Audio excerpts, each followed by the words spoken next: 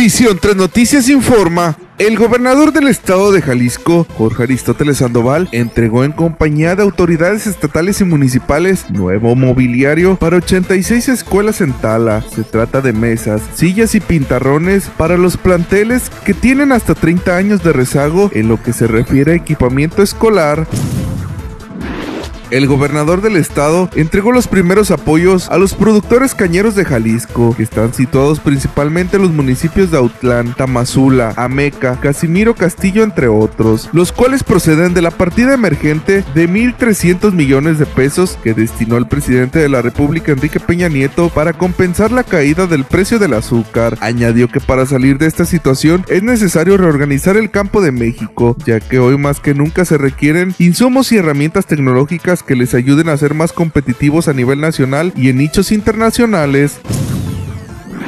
En Tuxpan, el fin de semana tuvo lugar la entrega de encaladas, que sirven para refrendar el compromiso de los actores de los pastores que tienen lugar en distintos puntos de la cabecera municipal, donde se les hace entrega de los panes acompañadas del tradicional ponche o rompope. Todo depende del capitán del día.